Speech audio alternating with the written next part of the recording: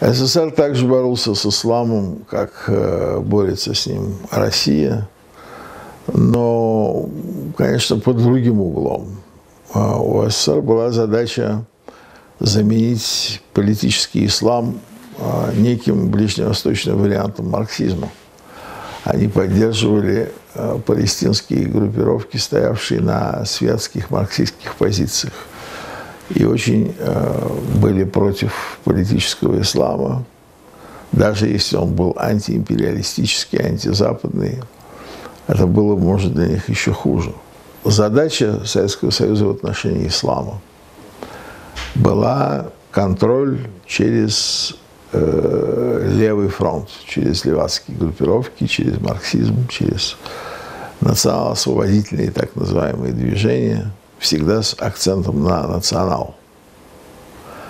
Потому что ислам, он в принципе не допускает аргументацию с этнической позиции.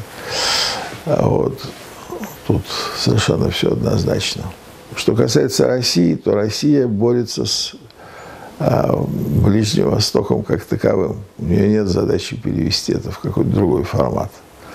Либеральный, нелиберальный. То есть они смеются над а, риторикой американцев по части введения демократии, издеваются над американцами.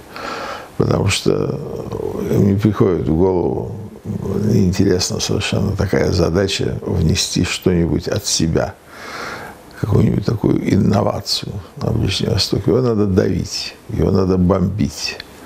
Его с ним надо поступать, как с городом Грозный. Вот, делать из него Сталинград, делать из Сирии Сталинград.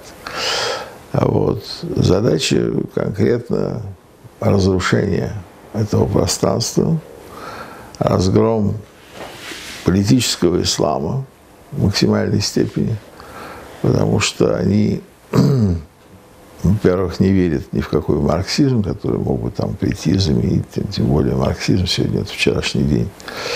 Вот. Они прекрасно понимают, что единственный выбор народов Ближнего Востока, Большого Ближнего Востока, это политический ислам. И они воюют с этим.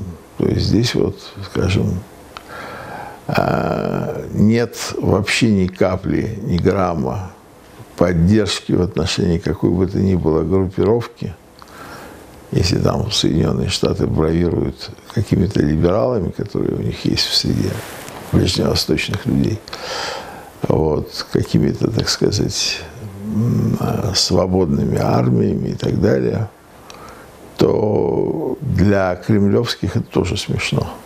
Они принципиально отвергают идею развлечения между какими бы то ни было направлениями в ближневосточной мысли, политике. А для них это все, это то, что подлежит забавливанию. Они не собираются вдаваться в тонкости, как intelligence service, там, как ЦРУ, там, свои люди, пятые колонны, там, агентуры, КИМ и так далее. Вот это все предмет уничтожения. Поэтому вот эта разница, она существует.